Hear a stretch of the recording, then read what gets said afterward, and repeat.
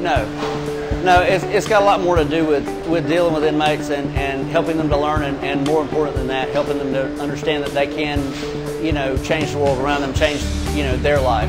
Leadership skills don't hurt, uh, but people skills are what you have to have, you know, and, and you don't have to be perfect with people and, and know everything about that, but you have to be willing to learn. You know, I mean, I can teach you how to cook. I do that every day. I've told people before, you know, the, the kitchen's the heart of the jail because that's you know that's what we're feeding as much as their belly. You know, trying to trying to make things okay.